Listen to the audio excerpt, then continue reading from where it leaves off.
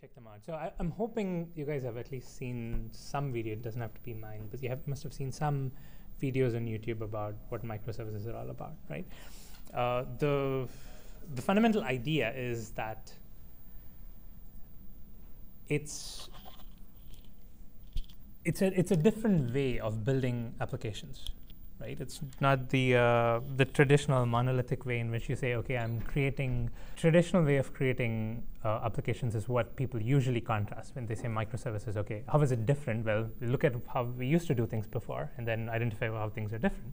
So the traditional way is that single code base, or maybe multiple code bases, but then what gets deployed is one entity, and it gets it, it gets deployed on one server.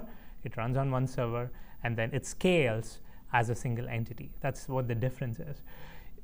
Uh, it's, it's important to remember the distinction between what you do on the coding side of things, where you can have multiple projects, you can have all, all kinds of modularity, but still end up having a monolith deployed on the server, right? So microservices, that thing changes.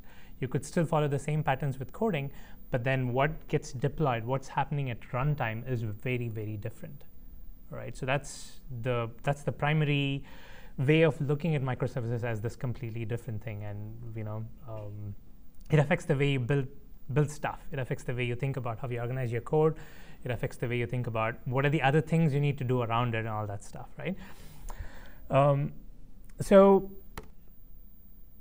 let's start with the agenda. Uh, we're, like I said, it's, a, it's going to be a hands-on workshop. We're going to try to make it hands-on. Um, we're going to be creating a couple of microservices when you did a git clone, what you got was kind of like the final state of what we're going to be building, right? We're going to be building a sample application, which consists of four microservices. They're all going to work together to form that application that that's going to that, that's what the end goal is going to be.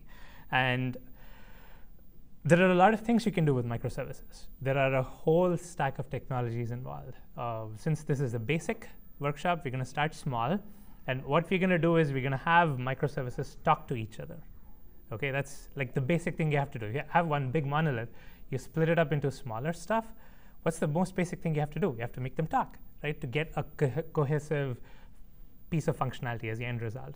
So these are the only two things we're going to be doing, but you'll be surprised how much is involved in just getting these two things done, creating microservices and having them talk. There are various aspects to having microservices talk. You can just have one microservice hard code it to make a call to another microservice, get a response, and then do something with it.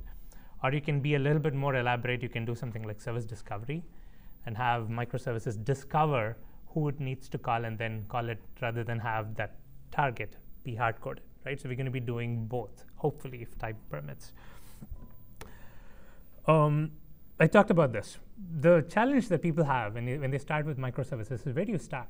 You have like if you look at um, for something like Spring Cloud, right? Spring Cloud is just one way of creating microservices, one set of technologies for creating microservices.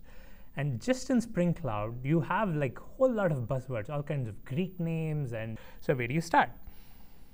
Addition to the technologies, you also have a lot of patterns. Each of those technologies have certain patterns you need to follow, right? That's how you make the best use of those technologies. So it's not just enough to learn what the technology is. You also have to learn how do you use it, right? W what are the things you have to do to make this technology work in the optimal way? So that's another challenge we have. The biggest challenge among all those things that I personally faced when I started microservices was they're all interdependent. So that's something that I'm hoping to break in this order. I've kind of uh, picked the order the best I can so that it's kind of like a, an incremental progression rather than this whole chain that you're going to have to learn everywhere. Uh,